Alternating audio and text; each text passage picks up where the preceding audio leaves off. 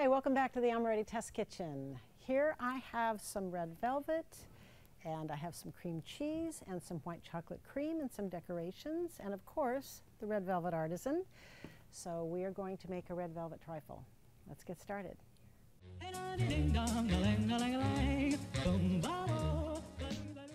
All right, so I have all the components. Cookie cutter, a couple of glasses, some cream cheese that I've whipped up, this is white chocolate cream, which I made a day ahead. This is just white chocolate and cream and a vanilla bean scraped in and then adding some gelatin. Melt the chocolate with some hot cream and mix it together with the gelatin and then let it sit overnight. Then you whip it and this is what you have. So I've colored a couple of bags of the white chocolate cream so that we can have some different colors. All right, so let's build the trifle. So I'm going to cut some cake. This is a little bit thick, but I'm going to use it. Let's see how it fits in the glass. I think we'll be okay.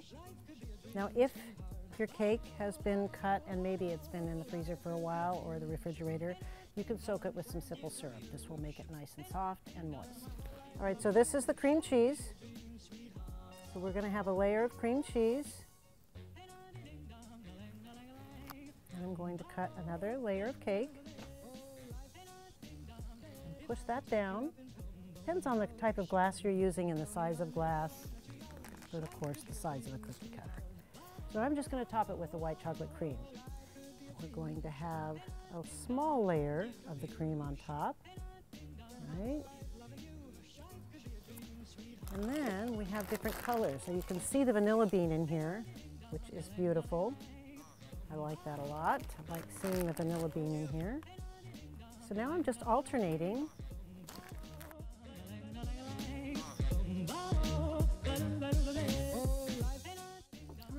This is the red velvet cake that I've dried out. You put it in the oven, you crumble it up, and you have some nice garnish. So I'm just going to sprinkle some of that on top because it makes it really pretty.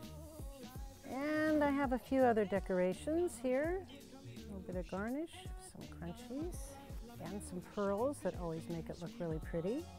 And I made some white chocolate garnish using some transfer sheets.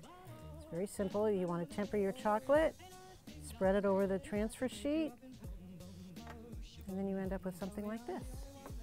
So you can use that as a nice garnish.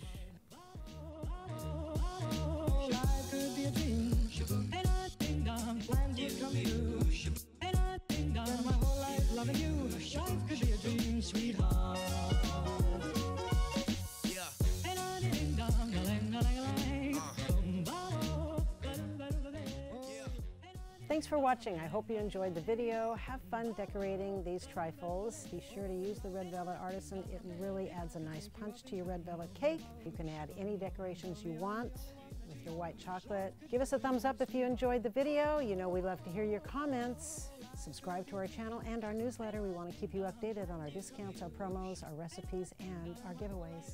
See you next time.